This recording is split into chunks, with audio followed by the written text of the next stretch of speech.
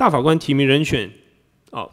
进行严格的审查，我想这是全民的一个共识。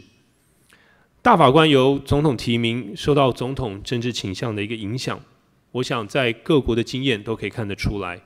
举例来讲，本席比较熟悉的美国，哦，美国大法官的历次任命记录，可以观察到，共和党的总统基本上大部分提名倾向提名保守派的大法官。那民主党的总统大多会提名自由派的大法官，好，那也就是说，这样高度政治性的任命，国会审查势必要非常的严谨。我们大法官的审查制度将会决定我们想要什么样的大法官，也决定我们国家未来政治、经济或甚至社会层面发展的一个走向。今天我坐在这边。从上个星期的审查的这个公听会，好到今天哦，立法院办的第二场，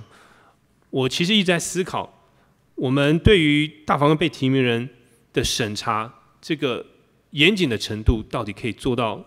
多大？目前为止，立法院这一次我们在审查大法官的被提名人，总共办两场的公听会，个别大法官的。审查质询从明天开始，哦，针对七位大法官，我们也办七场。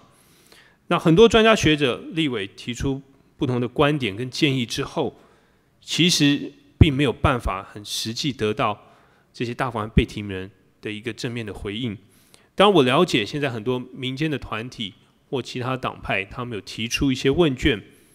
那也得到一些被提名人的答复，但仍然有一些被提名人并没有回复。那同样的，我们今天办的这场公听会，我认为很可惜，哦，会流于形式。便说从上星期的第一场公听会到今天这一场，我所看到的，变成是大家和各言而至这样的一个状况，更不用说哦，大法官提名开始到十月二十五号投票，这中间只有十九天而已。那我们的书面资料审查，就是七位被提名人的提供的书面资料，上网公开的总共只有一百三十六页，平均每一位被提名人他提供的这个书面资料，我们上网可以看到的不到二十页，只有十八页左右。好，所以整个过程会显得比较草率，不够严谨。那接下来我就会举美国的例子，我们来看。我认为国会审查的方面与提名过程相近的美国相比较，我们立法院在大法官提名人的选审查过程中的权力制衡设计是明显不足。举例来讲，美国的大法官审查制度是所谓的两阶段审查，也就是当总统提名大法官人选之后，会先交付司法委员会来审查，啊，交给美国的 Judiciary Committee。先在司法委员会进行严格的听证的审查，所以委员会通常会要求被提名人，第一个先依据他们制式的一个问卷，一个 questionnaire，要求每一位被提名人详细的填写这份问卷。所以我也做了一个比较，我实际去看了这七位被提名人他们提供的书面资料，目前放在。这个会议室里面，那基本上也只能由